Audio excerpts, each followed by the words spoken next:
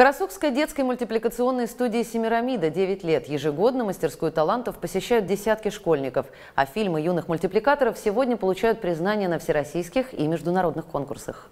Ой, давай. Давай еще раз. Да, да, да, давай, давай. Движение за движением, кадр за кадром. В создании мультфильма процесс кропотливый. Дима Булатов в студии второй год. Сейчас занимается рисованной анимацией. Вот сейчас я делаю мультфильм на планшете графическом.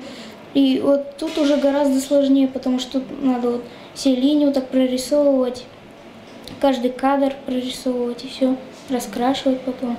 А это коллективная работа. Ребята учатся работать сообща и последовательно выстраивать мысль. А мы делаем мультик «Зайчья душа». А о чем этот мультик? А то, что заяц бывает страшнее волка.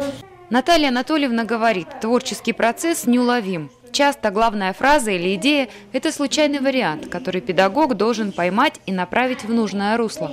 Мимолетная случайность, когда э, беседа об овощах была такая, и коронную фразу сказала Лиза наша, когда спросили, а почему Лузла? Он говорит, какие родители, такие дети. Вот, и все, и родился фильм, который вот э, заключался вот этой фразой, как бы такая точка. Владивосток, Ялта, Москва, Санкт-Петербург – это география мест, полученных грамот и дипломов различного уровня. Солидная стопка заслуженных наград – не предел. Уже сегодня карасукские мультипликаторы готовятся к участию в очередном конкурсе. Валентина Чемизова, Владимир Летау. Новости ОТС.